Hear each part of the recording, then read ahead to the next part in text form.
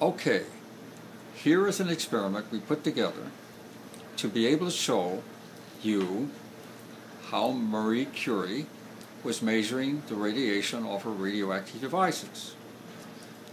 The item on your right is a quadrant electrometer. She used one of these. It's a voltmeter that draws hardly any current at all, but measures voltage. We're going to show you in the center here there's a string hanging down. And this actually will act exactly like the volt quadrant electrometer.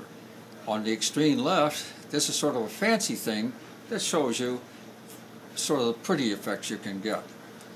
Now, what he's going to charge up the system to put electricity and you're going to be measuring the voltage.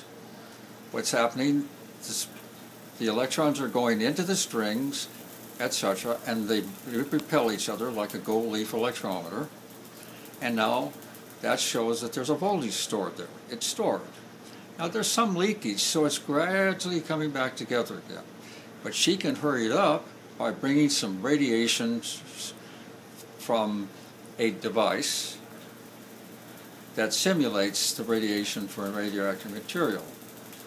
She's got that. Now she'll bring it over. Here she comes. This is ionizing the air. Look how fast that comes down. And then it's not all the way down. It takes a long time because, yeah, by comparison. Now she touches the ball, and that takes the rest of it. So she's leaking off with her hand the electricity that was stored. So we could do it very fast one more time. She cranks it up, charges it up, puts voltage. There they go. And when she stops, it'll collapse very slowly, very, very slowly. Now if you bring radiation close to it, like here comes the radium, you look at what happened over there, and then she brings it over to the thing. See how it's coming down? Coming down.